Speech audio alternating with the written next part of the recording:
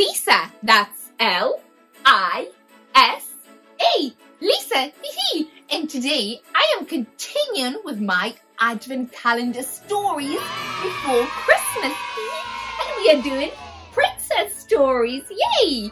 And now we are going to do the 9th of December story. That's 9, 9th of December. Let's see what story we are going to get. Wow!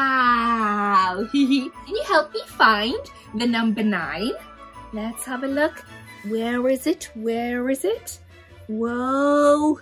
Over there? No, no, where is number 9? Oh, there it is! Number 9! Hee Let's get it out. And we will put that back for tomorrow. Hee Let's see what story we are going to have. And if you missed the story from yesterday, all you have to do is go onto my channel and click subscribe. That's a big red button underneath this video and you will find the story from the previous day. Now, what is this story? An amazing team? Wow, have a look over here. Wow, this sounds really nice. Well, let's find out what it is about. Aurora loved being a princess, but after spending so many years in a quiet cottage was often a bit overwhelming.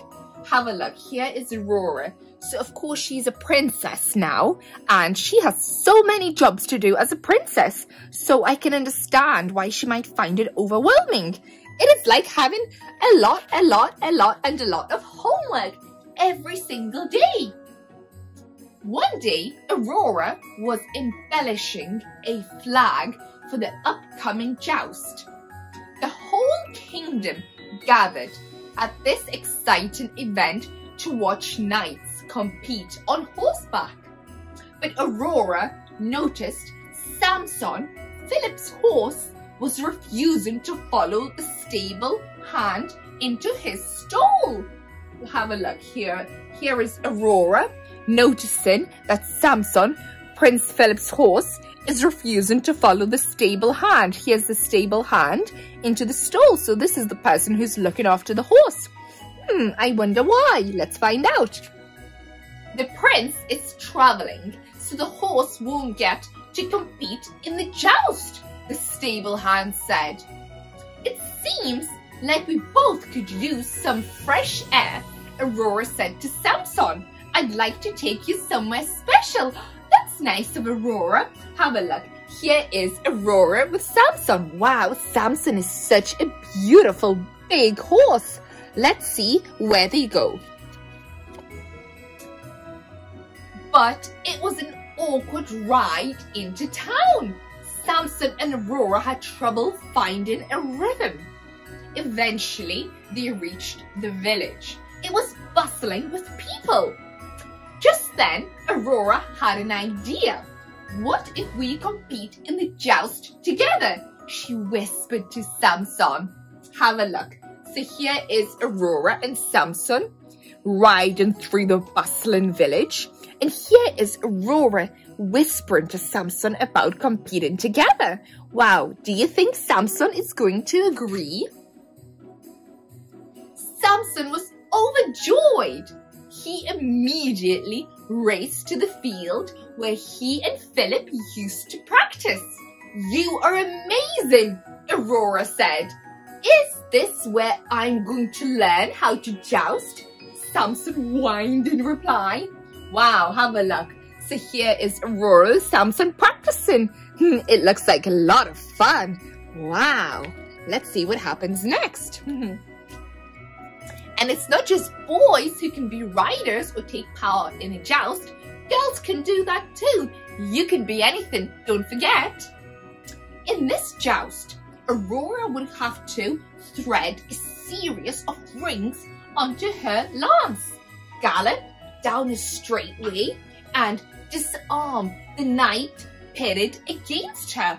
Wow, that sounds like a lot of things that Aurora has to do. I wonder if she'll be able to do it.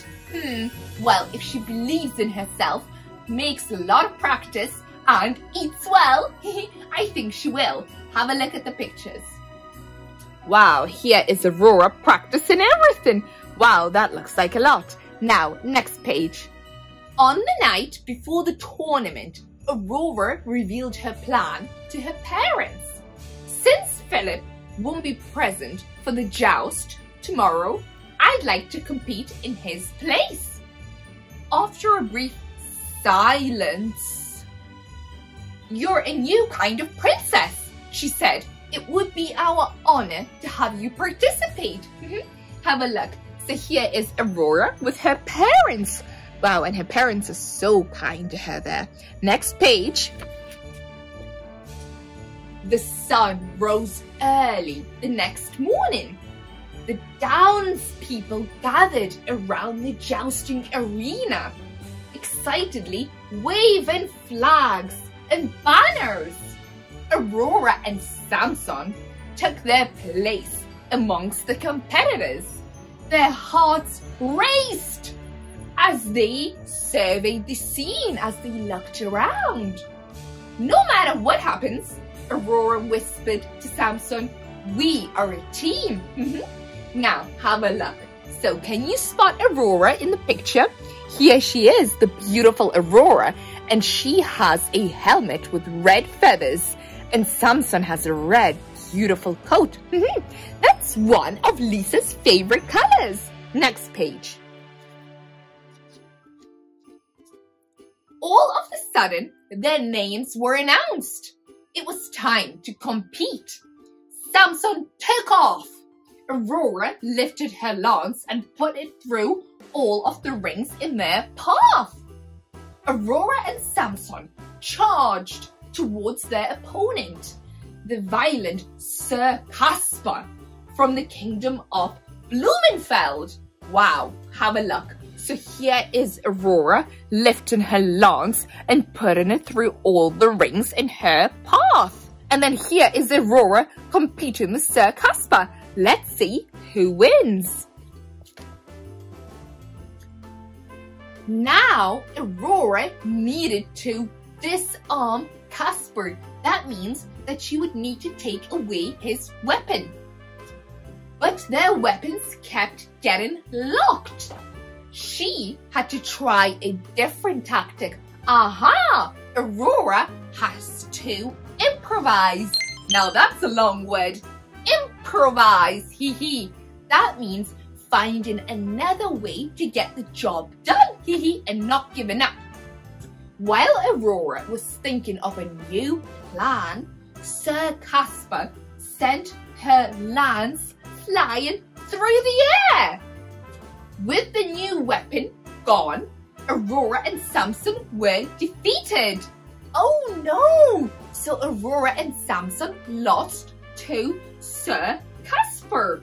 Have a look, here's the picture. So while Aurora was thinking of a plan, Sir Casper took the opportunity and caught Aurora off guard. Now let's see what happens after that. At the end of the day, the winners were announced. Aurora and Samson ended up fourth, so they took fourth prize in fourth place. Bad for our first tournament, Aurora said with a wink. she and Samson made an amazing team. The end. Wow, so here is Aurora and she receives her fourth place badge and so does Samson and they are together. now, what a nice story that was. And this was an amazing story about teamwork. And wow, how good is it of Aurora and Samson to still come in fourth place on their first go. Wow, imagine if they keep on practicing and practicing and practicing. They might come first one time. now, I hope you enjoyed this story and I have lots more stories coming up tomorrow. now, don't forget to subscribe. That's the big red button underneath this video for more stories. And Lisa, that's L-I-S a Lisa. We'll see you very soon.